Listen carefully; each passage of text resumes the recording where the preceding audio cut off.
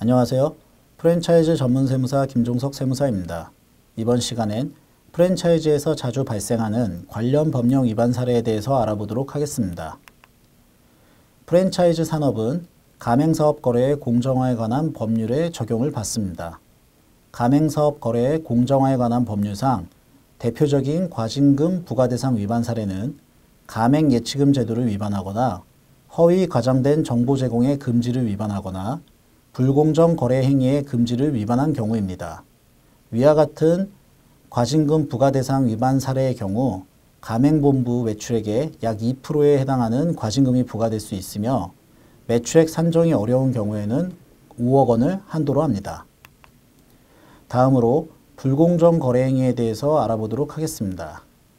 가맹사업 거래의 공정화에 관한 법률상 나와 있는 불공정 거래 행위는 첫 번째, 부당한 계약의 해지 또는 갱신의 거절, 상품 또는 용역의 구입 강제, 부당한 계약 조항의 설정 또는 변경, 경영의 간섭 및 판매 목표 강제, 가격 또는 거래 상대방의 구속, 가맹점의 상품 또는 용역의 판매 제한, 마지막으로 영업지역의 준수 강제 등입니다.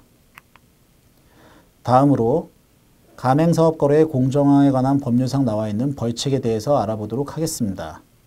첫 번째로 허위 과장된 정보를 제공한 자는 5년 이하의 징역 또는 3억 원 이하의 벌금에, 벌금이 부과되며 가맹점이 분쟁 조정 신청이나 공정거래위원회 조사 협조 등으로 상품, 용역의 공급, 영업활동 지원 중단, 가맹계약 해지 등 보복성 불이행 행위를 하는 가맹본부에게는 3년 이하의 징역이나 1억 원 이하의 벌금이 부과됩니다. 만약 가맹본부가 가맹금을 예치 기간을 통하지 않고 직접 수령할 경우에는 2년 이하의 징역 또는 5천만 원 이하의 벌금이 부과됩니다. 마지막으로 과태료에 대해서 알아보도록 하겠습니다.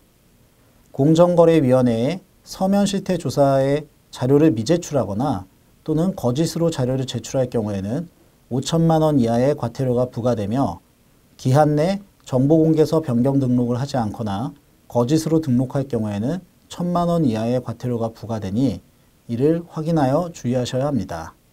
지금까지 프랜차이즈 관련 법령의 위반 사례에 대해서 알아보았습니다. 감사합니다.